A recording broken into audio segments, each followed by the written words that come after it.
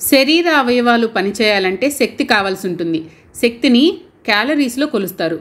ఒక kilo calorie అంటే ఒక లీటరు నీటి ఉష్ణోగ్రతను ఒక డిగ్రీ సెంటీగ్రేడ్ పెంచడానికి కావలసిన ఉష్ణము లేదా టెంపరేచర్. ఈ క్యాలరీలు మనం తీసుకునే ఆహారంలో గల కార్బోహైడ్రేట్లు ప్రోటీన్లు క్రొవ్వు పదార్థాల నుంచి లభిస్తాయి.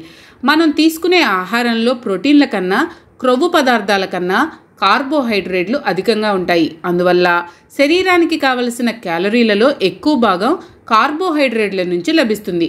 ఒక గ్రాము కార్బోహైడ్రేట్ నాలుగు క్యాలరీల శక్తినిస్తుంది.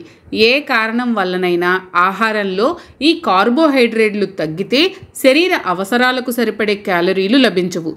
అటువంటి సందర్భంలో వ్యక్తి పనిచేయలేక త్వరగా అలసిపోతాడు.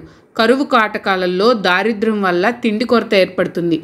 అటువంటి సందర్భాలలో ఆహారంలో కార్బోహైడ్రేట్లు లోపించి శరీరం నీరసించి శల్యమైపోతుంది.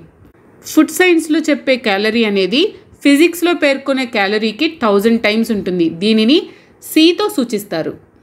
రకరకాల ఆహార పదార్థాల గురించి వాటి పోషక విలువల గురించి నేను చేస్తున్న ఈ వీడియోస్ కనుక ఇన్ఫర్మేటివ్గా ఉంటే మీకు నచ్చితే లైక్ చేసి మీ వాళ్ళందరికీ షేర్ చేయండి.